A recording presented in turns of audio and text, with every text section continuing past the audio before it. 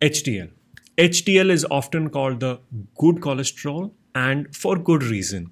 If LDL is the delivery truck, HDL is the cleanup crew. Its job is to collect extra cholesterol from the tissue and artery walls and bring it back to the liver for recycling or disposal.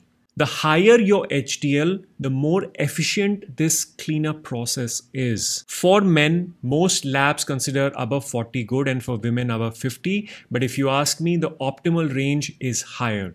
55 to 65 for men and 65 to 75 for women.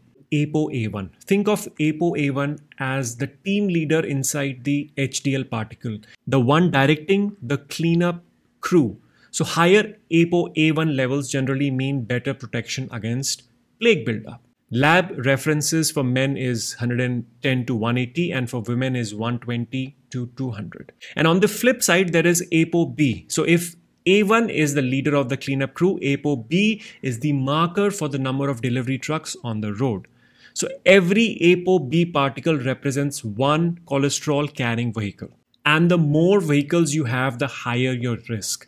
That's why ApoB is considered one of the most accurate predictors of cardiovascular risk today.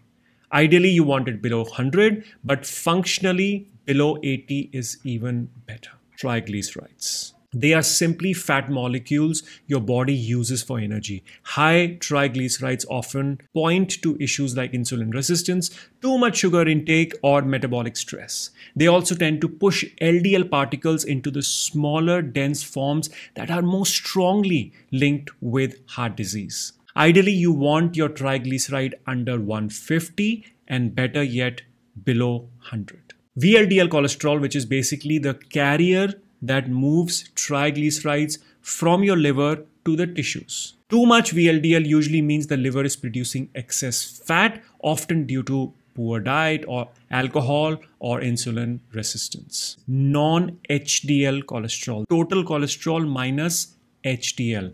That means it captures all the potentially harmful particles, including LDL and VLDL. Ideally, it should be less than 130. Ratios give us some of the clearest insights. And the first one is the HDL to total cholesterol ratio. When the ratio is above 24%, your risk drops significantly. Triglyceride to HDL ratio. Now, this ratio is strongly linked to metabolic health. You want it as close to 1 as possible and definitely, definitely below 2. A ratio above 2 often points to insulin resistance and higher risk for heart disease.